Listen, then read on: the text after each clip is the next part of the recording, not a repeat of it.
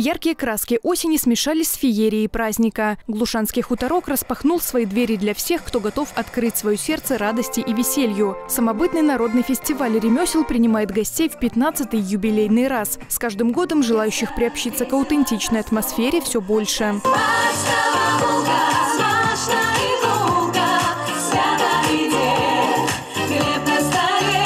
На сцене россыпь творческих коллективов из Бобруйска, Могилева, Осиповичского, Глузского районов. Не обходится и без заслуженных наград. В преддверии Дня работников культуры грамоты и благодарности льются рекой. После праздничный концерт. Сюда собрались мастера не только из поселка Глуши, но и всех близлежащих деревень.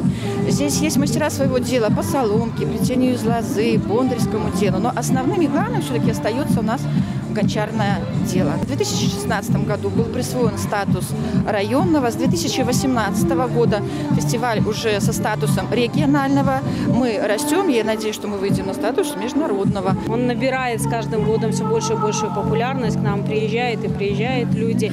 Э, не только в рамках фестиваля, приезжают и в будние дни, и с экскурсиями приезжают, потому что у нас есть что посмотреть, нам есть что показать. Народный мастер Беларуси Юрий Бовда признается, гончарное Глиняное ремесло – дело всей жизни. 54 года глина оживает под умелыми руками, ловко превращаясь то в увесистый кувшин, то в миниатюрный сувенир. Творец своих секретов не скрывает, с удовольствием делится тонкостями работы с молодежью. Я хочу достичь того, чтобы керамика не пропускала в лаву.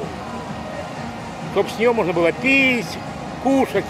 Но при этом, при всем, получаются очень оригинальные рисунки.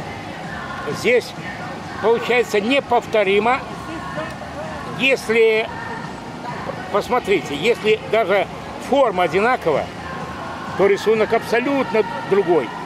И вот здесь каждый человек при своем впечатлении там или иллюзиях своих, он увидит свой, свой сюжет по рисунку. А если вы захотите, чтобы я повторил это, это неповторимо. Это эксклюзив.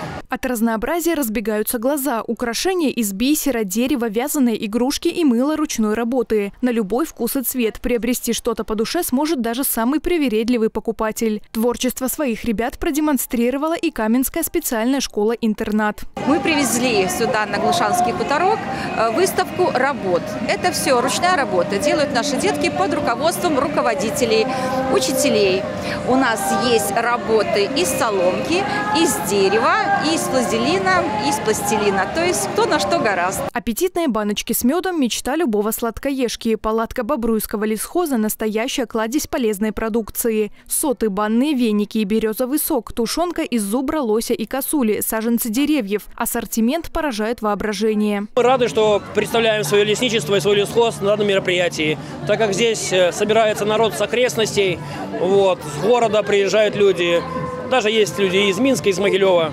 Поэтому рады быть здесь. Глуша не только живописное место на карте необъятной Беларуси, но и участник государственного проекта «Здоровые города и поселки». Без хорошего самочувствия нет веселья, и жители это подтверждают на собственном примере. Площадка Центра гигиены и эпидемиологии сегодня представлена в нескольких направлениях.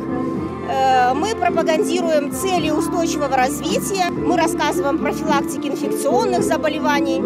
И для ребят, которые помладше, Э, площадка активного досуга, где с маленьких лет мы учим ребят здоровому образу жизни. Гости с удовольствием лакомятся национальными блюдами и закупаются у мастеров на ярмарке и наслаждаются праздничным концертом. Фестиваль в очередной раз наглядно показал – белорусская душа самая широкая в мире. Юлия Вернер, Станислав Чечерин, Бобруйск, 360.